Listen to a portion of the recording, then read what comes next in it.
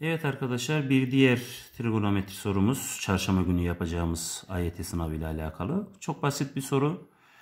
Ee, x'in dar açı olduğu belli zaten.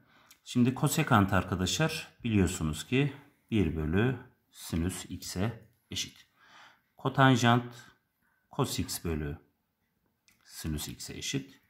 Çarpı 1 eksi kosinüs x eşittir 1 bölü Şimdi işlemimize devam edelim ama arkadaşlar burada 1 eksi kos ya da 1 artı kosu görünce sin kareyi 2 kare farkına ayırmak daha mantıklı gelir. Kos x yukarıda. Bir de 1 eksi kosinüs x var. Burası sin kare x.